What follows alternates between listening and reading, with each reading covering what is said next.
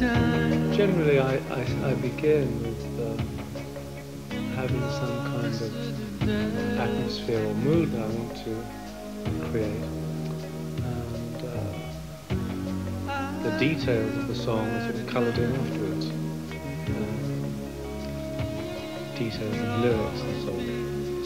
But first of all, it's really an emotion that is that becomes a sort of a mood, and uh, that's how it usually happens. And the music generally comes first through um, some kind of keyboard instrument, piano or synthesizer or something.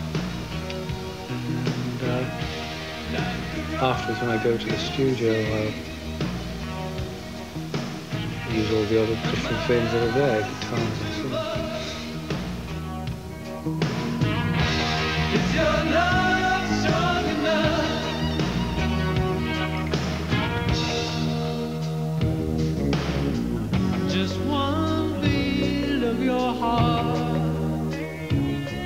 I think I'm the sort of person who likes to have um, congenial surroundings. Um,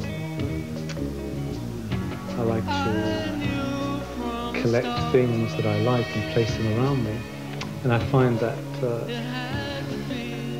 it's very good for me when, I, when I'm not working uh, to, to have this kind of background to relax into. Uh, because when I work, it's generally in, in the city, in a very different kind of uh, situation, and, uh, which usually has a lot of uh, tension with so many people uh, working on, a project at the same time.